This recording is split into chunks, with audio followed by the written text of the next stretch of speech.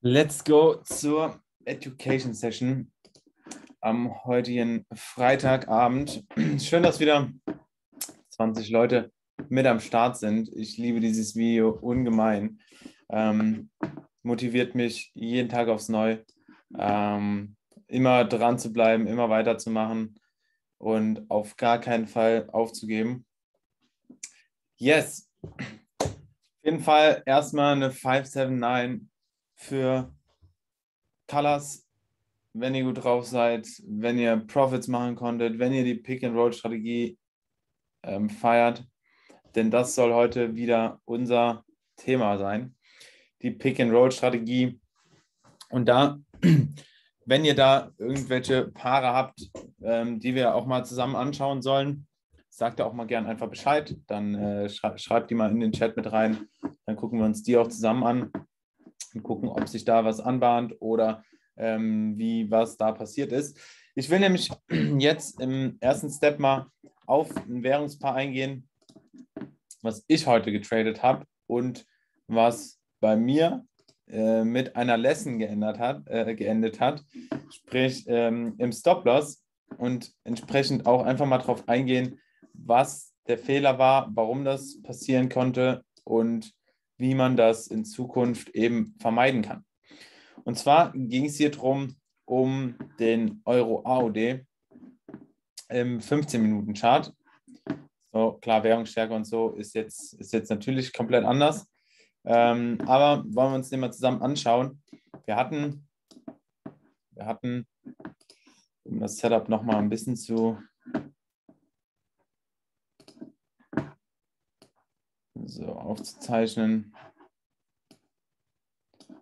So, hier hatten wir auf jeden Fall eine grüne Box gehabt. Eine grüne Box gehabt im 15-Minuten-Chart und wir hatten einen grünen Swing Arrow. Ja. So, also grüner Swing Arrow hier oder hier und eine grüne Box entsprechend dort. Sprich, ein schönes Setup. Ähm, also das können wir uns einfach mal wegdenken. Sprich, ein schönes Setup für, für nach oben entsprechend mitzunehmen. Ähm, hatten hier natürlich die, die ECs noch gehabt. Ähm, aber an sich ein, ein, schönes Setup, was man entsprechend mitnehmen kann im M15. So, sprich, wir haben hier unser so, ich mache nochmal mein Zeichenwerkzeug hier auf. Wir haben hier ganz normal unser Retracement, dann nochmal ein Pullback und hier eben unsere Limit Order. Jetzt war es in dem Fall so gewesen, dass ich meine Limit Order ein bisschen hier drüber platziert habe, ungefähr hier. Ich mache das mal blau. So. Sprich, hier die Limit Order platziert und man sieht, so, die wurde einmal kurz angeditscht quasi, einmal reingewickt, kurz ausgelöst und dann ging es auch sofort in den Drawdown und eigentlich ähm, in, in einem Zug äh, Richtung Stop-Loss. Ähm, warum ist das so und wie kann man das Ganze hier vermeiden? Weil prinzipiell habe ich mich ja an alle an alle Regeln gehalten, quasi, was die Pick-and-Roll-Strategie ähm, sagt.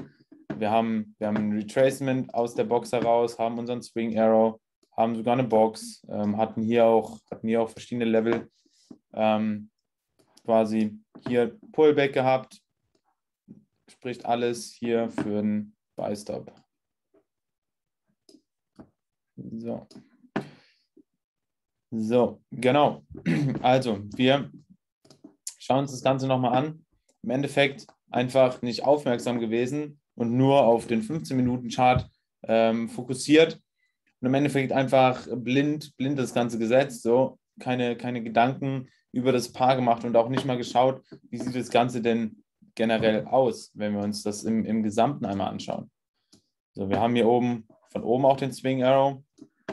Vor allem, wenn wir mal einen Timeframe höher gehen, schauen wir uns das Ganze mal im Stundenchart an, haben wir im Stundenchart Trinity von oben, sprich ähm, Swing Arrow, EC, Box, ähm, alles, alles quasi, alles quasi hier für unsere Trinity von oben, sprich hier oben drüber ähm, hält der Markt und wird da eben kontrolliert von den Verkäufern. Was natürlich nicht heißen kann, dass wir diese Bewegung hier nach oben nicht hätten noch mitnehmen können, sage ich mal bis hierhin ähm, oder vielleicht noch ein bisschen weiter bis hierhin. Aber macht überhaupt keinen Sinn, weil warum sollten wir es riskieren, gegen den höheren Timeframe zu traden? So, warum sollten wir es riskieren? Ähm, ergibt absolut keinen Sinn. Und im Endeffekt, selbst wenn wir im 15-Minuten-Chart traden, so dann wollen wir für Sell-Setups schauen. So, sprich, in dem Fall haben wir hier, haben wir hier eher äh, einen, einen Sell-Stop mit dem Swing Arrow, mit dem Pullback und hier unseren Sell-Stop, der jetzt ausgelöst äh, wurde, wobei wir hier dann auch schon wieder unsere, unsere nächste Struktur quasi haben ähm, und da jetzt nicht so viel Luft haben. Aber macht viel, viel mehr Sinn, das Ganze auf den Zellen mitzunehmen, auf den Weg nach unten mitzunehmen. Einfach, weil man sich das große Ganze einmal anschaut und im höheren Timeframe und im höheren Timeframe ähm, eben entsprechend sich den Überblick verschafft. So, Heißt, versucht auch wirklich ähm, nicht einfach blind, blind in den Markt einzugehen, sondern auch da, auch da ähm, einfach mit, mit Bedacht und Verstand. So war ein Fehler heute, ähm, kann natürlich passieren, äh, sollte nicht zu häufig passieren. Ähm, ist, auch, ist auch nicht dramatisch, aber natürlich ärgerlich, weil das ist einfach mal ein Prozent einfach so verschenkt. Ähm, muss nicht sein. Ähm, und, und das sind einfach eben Sachen, wie man das entsprechend vermeiden kann. Was hätte man eher machen können? So, wenn, wenn, wenn wir das Ganze so sehen, so macht es eher Sinn, ähm, weil wir eben die Trinity von oben haben, dann zu schauen. Also prinzipiell ein Swing Arrow kommt ja immer dann, wenn wir, wenn der Markt sich ausruht. Das heißt, wir haben ein Level gefunden, wo eine starke Rejection nach oben kommt. So, das hat, das hat lassen wir nochmal da. Äh, das hat Spills heute auch in der Session, in der Go Live Session nochmal gesagt. Ähm, Deswegen kommt, wenn ein starkes, ein, ein starkes Retracement quasi ähm, kommt, ein, ein starker Impuls an einem bestimmten Preislevel. Das heißt, wir haben hier, hier unten ein Preislevel, wo Käufer sitzen. So, und den Markt instant, also direkt in einem Zug in eine Richtung katapultiert haben. So, deswegen bekommen wir hier diesen Swing Arrow. Was aber nicht heißt, dass, dass der Markt dann nach oben geht. So, weil im höheren Timeframe haben wir auch die Trinity von oben, ähm, auch, auch hier im 15-Minuten-Chart. Wenn wir mal schauen, haben wir hier auch Trinity von oben und hier quasi den Swing. Heißt, wenn wir ähm, wo, wo, wo liegt die Equity? So, wo liegt das, wo liegt das ähm, Verkäufer? Wo, wo sitzen die ganzen Verkäufer? Hier unter, unter diesem Bereich. Unter diesem Bereich. Das heißt, so, wenn man den Markt in die Richtung mitgenommen hätte, dann, dann eher nach unten in den Bereich, weil da unser hoher Timeframe auch für uns spricht. So, gucken wir uns das Ganze mal im 4-Stunden-Chart noch an, wie es da aussieht auch hier im 4-Stunden-Chart sehen wir auch, so der Swing Arrow versteckt sich hier so ein bisschen. Versteckt sich hier äh, hinter der gelben Kerze. Aber auch hier sehen wir, zack, zack, hier die Bewegung, hier den Sell Stop und ab mit nach unten genommen. Ähm, so, macht definitiv Sinn. Einfach, es geht darum, dass wir wirklich die Timeframes auch miteinander äh, miteinander in die Analyse mit einbeziehen und nicht einfach nur blind in einem Timeframe das Ganze äh, mitnehmen. Kann natürlich trotzdem funktionieren, so kann definitiv funktionieren, aber wir wollen ja, dass wir im Endeffekt wirklich die Quote ähm, einfach höher haben und wirklich versuchen, dass wir ähm, erfolgreich sind mit dem, was wir machen und, und möglichst, möglichst ähm, keine, keine Losses haben. Deswegen, der Swing im höheren Timeframe ist immer stärker. Also das könnt ihr euch notieren, der Swing im höheren Timeframe ist immer stärker als im niedrigeren Timeframe. Deswegen habe ich auch äh, am Mittwoch gesagt, empfehle ich ab 15 Minuten zu schauen. Ähm, natürlich jetzt trotzdem so, auch Learning für mich heute nochmal, ähm, nochmal konkreter auch im Stunden- und Vier-Stunden-Chart zu schauen, so wie sieht denn das Ganze aus? Sind wir gerade auf dem Weg nach oben? Sind wir auf dem Weg nach unten? Und dann entsprechend in die Richtung auch nur die Setups entsprechend mitzunehmen. So, funktioniert auch im 1-Minuten-Timeframe, definitiv, funktioniert auch im 5-Minuten-Timeframe, aber dann schaut so, dass eure höheren Timeframes, dass ihr mit in die Richtung der höheren Timeframes tradet. Ähm, genau. Nur einfach, um eben ein paar Losses zu vermeiden. So, darum geht es im Endeffekt. So, hätte ich das gewusst, hätte ich, hätte ich hier meinen Sales Stop gesetzt so, und, und, und hätte den dann entsprechend in die andere Richtung mitgenommen. Man muss dazu sagen, natürlich war es jetzt auch ärgerlich, dass, dass der einfach nur hier angewickt hat. So hätte ich, hätte ich den Meister ein bisschen höher platziert, wäre er gar nicht ausgelöst worden. Ähm, das ist natürlich das andere. Aber das ist zum Beispiel das, wo die Broker eben genau das, genau das wollen und genau das Geld quasi mit einsammeln wollen, weil hier eben die Leute ähm, ihre, ihre Order platziert haben ähm, und auch die ganzen anderen Stop-Losses teilweise dann sitzen vom, von den Verkäufern wo dann einmal ganz kurz hochgewickt wird und uns dann sofort wieder nach unten geht. Und deswegen, da sollte man definitiv dann entsprechend vorbereitet sein und einfach clever agieren. Yes. Ansonsten, Pick, Pick and Roll.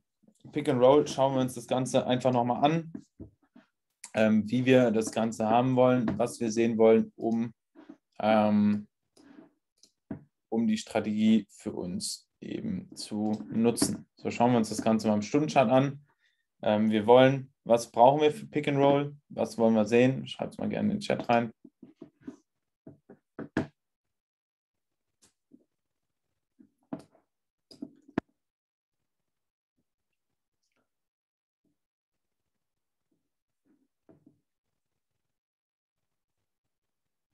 So. Im besten Fall Trinity Swing Arrow, Box. Yes. Am besten eine Trinity, die uns das Ganze hält und uns den Trend oder die Trendrichtung vorgibt. Die Directional Bias. Ähm, das ist die Trinity. Nochmal, es sind immer auch wieder ein paar neue dabei, deswegen gehen wir das auch immer wieder durch, sodass es wirklich in Fleisch und Blut ist. Trinity,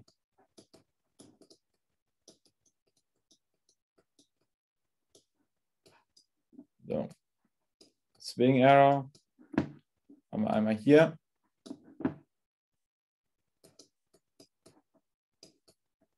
Box haben wir hier. Und die C haben wir hier und auch hier. Haben wir sogar zweimal vertreten. So, schauen wir uns das mal genauer an. Also ist, ist ziemlich nah an der Box dran. Ähm, deswegen würde, würde, ich das mal, würde ich das mal durchgehen lassen. Ähm, ansonsten haben wir hier, sehen wir hier genau das, was wir sehen wollen. So kommt, kommt an das Preislevel eben hier entsprechend dran, hier wo die ECs eben halten. Ähm, kommt ran und rejected. So rejected und da ist auch der Punkt, wo der Swing Arrow gebildet wird. Also dieser Impuls an diesem Preislevel, das zeigt eben, dass wir hier entsprechend ähm, viele Käufer haben, so die diesen Preis an diesem Level halten. So, das sehen wir, das sehen wir nochmal. So, der Preis kommt ran, kommt hier langsam raus, kommt nochmal dahin, zack, instant wieder raus. Deswegen bekommen wir den Swing Arrow. Und was wir dann machen, wir warten auf den Pullback und können unsere Order hier platzieren. Hier ist unser Buy Stop. Über, über der Triggerzone quasi durch, durch den Swing Arrow, durch den Pullback. Da bekommen wir unsere Triggerzone, also dieser Hochpunkt. Punkt, so ist unser Buy Stop. Und hier, hier ist dann unser Entry und Instant, zack, Blue, ähm, kein Drawdown. genau das wollen wir sehen. Also das ist ein perfektes, perfektes Beispiel für, ähm, ja, für die Pick-and-Roll-Strategie. Wenn wir hier unseren Entry haben, Stop-Loss unter der Struktur, sprich im Idealfall hier drunter, unter der EC, Take Profit ja, an der nächsten an der nächsten Zone äh, oder ich würde ein bisschen drunter setzen. So, da haben wir unseren ersten TP. Zack. Und da ist er auch schon fast dran. Perfektes Setup. Genau so wollen wir Pick and Roll nehmen. Yes.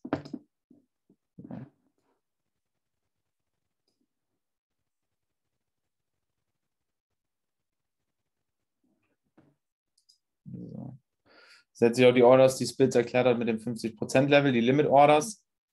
Ähm, Habe ich jetzt noch nicht gesetzt. So. Das kam ja auch erst heute.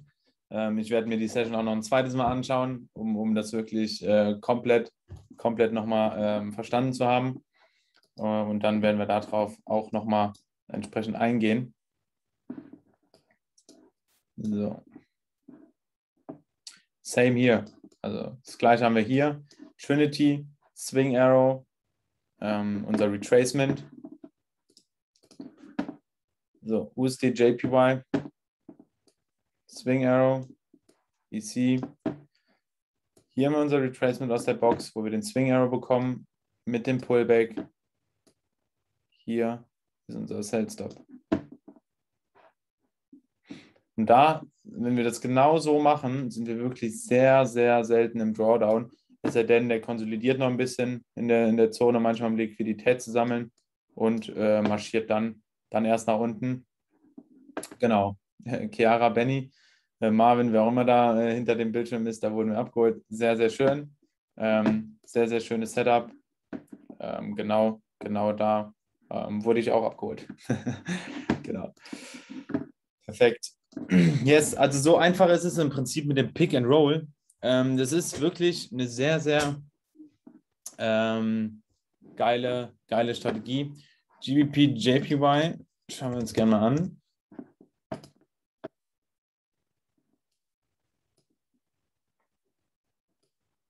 So, wurde die ausgestoppt? Wo genau wurde die ausgestoppt?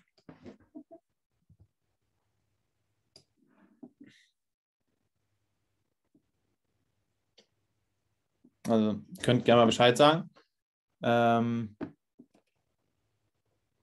also wenn man jetzt, wenn man jetzt äh, hier mal schaut und den GBP, äh, JPY einfach mal anschauen, haben wir jetzt Trinity von unten.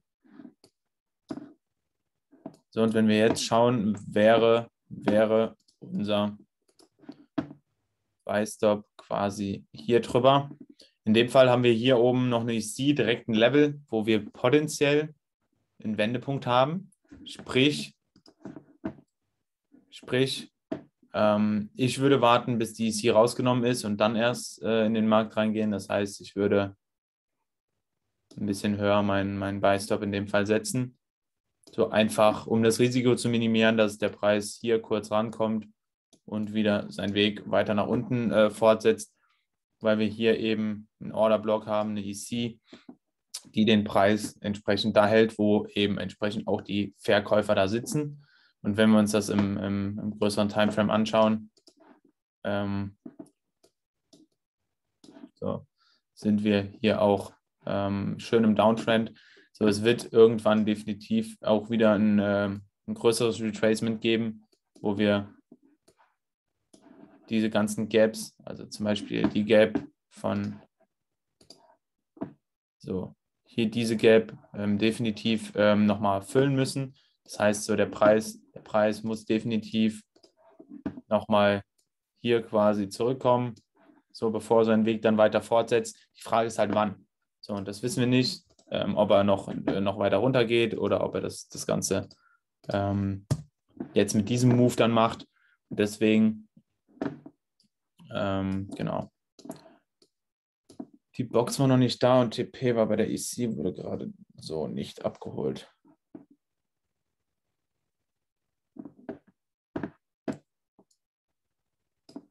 Also ich verstehe es jetzt nicht ganz, Chiara.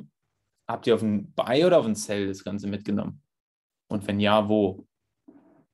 Weil auf ein Buy wurde man noch nicht abgeholt, weil das Buy-Limit frühestens hier wäre. Oder dann entsprechend über der EC.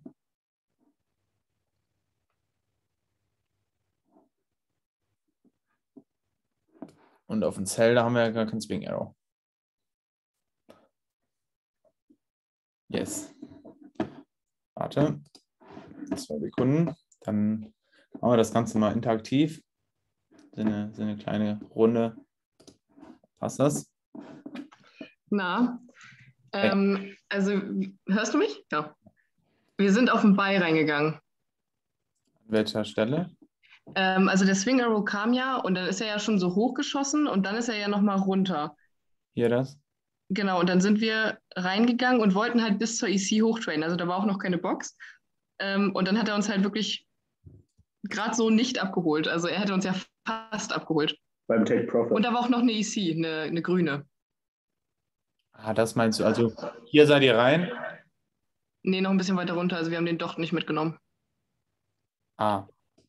Hier. Ja, genau, da ist er nochmal kurz runtergekommen und dann, Ah, okay. Also ich würde definitiv über den höchsten Punkt, also wenn ihr hier reingeht ähm, und das quasi ähm, als den Pullback ähm, nimmt so, und hier reingeht, dann definitiv über dem Docht ähm, die Order setzen. Und ausgestoppt werden solltet ihr trotzdem nicht, weil euer Stop-Loss auf jeden Fall hier ist. Da war ja noch eine EC. genau, die wurde dann weg. rausgenommen, als wir ausgestoppt worden sind. Ah, hier, hier unten, oder was? Ja, Nee, doch. ein bisschen weiter runter. Ja, doch, Ja, das, in das, etwa. das ja. wär- war die EC dann. Okay. Ähm, ja, beim Swing, also definitiv ähm, unter die Struktur, unter die EC kann man den Stop-Loss setzen, aber ähm, der, so die, die Käufer, die den Preis wirklich halten, die sitzen, die sitzen dann halt entsprechend unter dem Swingpunkt. Die sitzen hier. Ah, okay. Deswegen, um, um, wenn man sicher gehen will oder ein bisschen weniger Risiko gehen will ähm, oder den einen oder anderen Loss dann vermeiden will, so setzt man den Stop-Loss entsprechend immer unter die Struktur vom Swing. Okay, danke schön. Genau. Also das würde ich empfehlen, ähm, wenn, wenn den Stop-Loss dann immer unter den tiefsten Punkt vom, vom, vom Swing sogar zu setzen oder unter der EC, die da äh, ist. Ähm, am besten, am besten wirklich unter dem tiefsten Punkt. Da habt ihr das, das, die, meiste, die meiste Kaufkraft, die dann das, den Preis trotzdem halt hält. So, natürlich wird es auch mal vorkommen, so dass das durchbrochen wird, ähm, aber sehr, sehr selten. Also wenn der Preis hier gehalten wird, dann ähm, auf jeden Fall bis zur nächsten Struktur in der Regel. Hier war ja jetzt auch fast dran. Ähm, da Ja. würde ich schauen, dass man vielleicht nicht genau, genau die schwarze Linie nimmt, sondern ein paar Pips, paar Pips unten drunter. Und dann kann man das Ganze eben mitnehmen. Aber ist ja auch trotzdem nach wie vor auf dem Weg eben nach oben. Mhm. Okay. So, sind beim Swing dann die sogenannten Block Order Blocks ähm, oder verwechsel ich etwas? Ähm, ja, genau, also prinzipiell ähm, sitzt, sitzt hier eben ein Order Block. So, das sehen wir ja hier. Ähm, der Preis kam bis zu einem bestimmten Level. So, ich lösche mal die ganzen Zeichnungen. So, der Preis kam hier bis an ein bestimmtes Level, an dieses, und wurde dann durch diese dicke, dicke äh, Kerze entsprechend ähm, nach oben gepusht. So. so, das heißt hier, hier sitzt der Orderblock. So. Und diese, hier in dieser Kerze ist extrem, extrem viel Geld. So, um, um den Preis von hier, hier hoch zu befördern, braucht man extrem viel Kaufkraft und extrem viel Geld. Also hier, hier sitzen die ganzen Euros, ähm, die, die den Preis eben nach oben gedrückt haben. Und die müssen natürlich auch erstmal wieder, ähm, oder diese EC hier muss natürlich auch erstmal wieder rausgenommen werden. Das heißt, es müssen so viele Verkäufer sein und die Käufer, die hier in den Markt eingestiegen sind, die hier den Preis ähm, nach oben gepusht haben, so, die werden, die werden den auch entsprechend verteidigen. So sieht man auch wieder hier. So, der Preis kam hier runter und sofort sind wieder Käufer da und verteidigen den Preis. So spätestens hier oder spätestens hier ähm, wird es wieder Käufer geben, die den Preis wieder nach oben pushen. Und erst wenn wieder so viele Käufer da, äh, Verkäufer da sind, ähm, dass, dass die Käufer nicht mehr den Preis halten können, so dann, dann erst bricht der Preis durch und, ähm, und ja, dann geht es eben entsprechend weiter runter.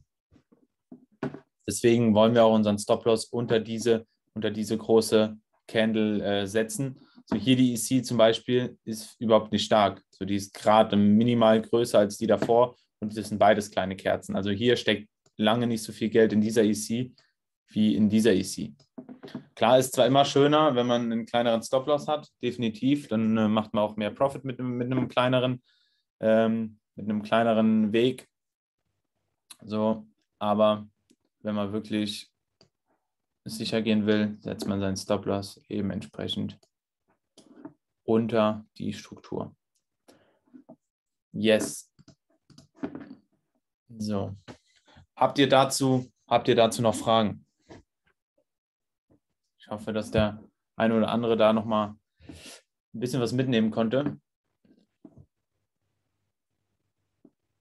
So. Schreibt mal in den Chat, konntet ihr für euch was, was Neues mitnehmen, ähm, was dazugelernt? Entweder Goaded, 579, was auch immer. Ein bisschen Rückmeldung im Chat geben.